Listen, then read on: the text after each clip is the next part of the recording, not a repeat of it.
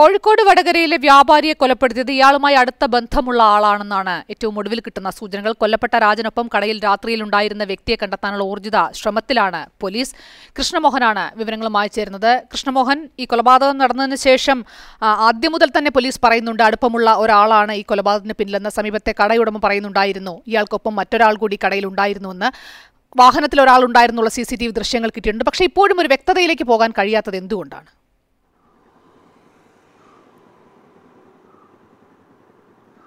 ശാലിനി അതിന് പ്രധാനപ്പെട്ട കാരണം വടകര നഗരത്തിൽ തന്നെയായിരുന്നു ഈ കടയുള്ളത്. രാജൻ കൊല്ലപ്പെട്ട ശേഷം ഉള്ള സമയങ്ങളിലെ സി സി ടി ദൃശ്യങ്ങൾ പോലീസ് ശേഖരിച്ചു. ഇന്നലെയും പോലീസ് ശേഖരിച്ചു. പക്ഷേ ഒരു ഒരു സി സി ടി ദൃശ്യത്തിൽ പോലും വ്യക്തമായ രീതിയിലൊരു മുഖം പോലീസിനെ കണ്ടെത്താൻ കഴിഞ്ഞിട്ടില്ല. രാജന്റെ ബൈക്കുമായി ഒരാൾ പോകുന്നതൊക്കെ സി സി ടി വിയിലുണ്ട്. പക്ഷേ അതിലൊന്നും മുഖം വ്യക്തമല്ല. ഇന്നലെ പോലീസ് ചെയ്തതെന്ന് പറയുന്നത് മാഹി ഭാഗത്തേക്കുള്ളതും ഒപ്പം തന്നെ വടകരയിൽ നിന്ന് പയ്യോളി ഭാഗത്തേക്കുള്ളതും രണ്ട് പ്രധാന റോഡുകളിലെയും സി സി ടി ദൃശ്യങ്ങൾ പരമാവധി ശേഖരിച്ചു. അതിന്റെ പരിശോധന ഇന്ന് നടക്കുന്നുണ്ട്. ഈ സി സി ടി ദൃശ്യങ്ങൾ തന്നെയാണ് പോലീസിന്റെ ഉള്ള ഏക പിടിവള്ളി. ഇതിൽ നിന്ന് ഒരു തുമ്പ് കിട്ടുമെന്നുള്ളതാണ് ഇപ്പോഴുള്ള പ്രതീക്ഷ. എന്തായാലും അതിന്റെ പരിശോധന ഇന്ന് നടക്കുന്നുണ്ട്.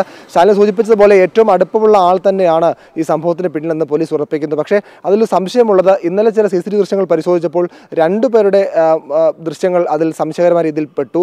അതുകൊണ്ട് തന്നെ ഒരാളാണ് കൊലപാതകം ചെയ്തതെന്ന് പോലീസ് പറയുമ്പോഴും രണ്ടുപേരുടെ ദൃശ്യങ്ങൾ അതായത് ഒരാൾ ഈ കടയിലെ ഭാഗത്തുകൂടി വെള്ളം വാങ്ങാനായി കടയിലേക്ക് പോകുന്ന ദൃശ്യമുണ്ട്.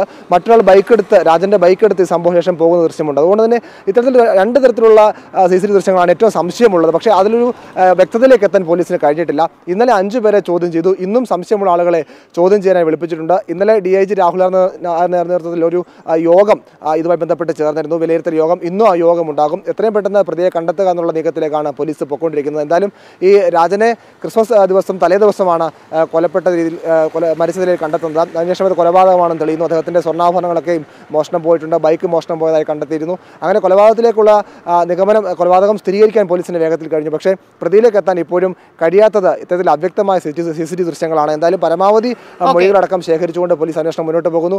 ഇന്നും കൂടുതൽ പേരെ ചോദ്യം ചെയ്യുകയും ചെയ്യും. ഏറ്റവും ഒടുവിൽ ഏറ്റവും പെട്ടെന്ന് തന്നെ അറസ്റ്റ് ഉണ്ടാകുമെന്നാണ് അന്വേഷണ സംഘം പറയുന്നത്.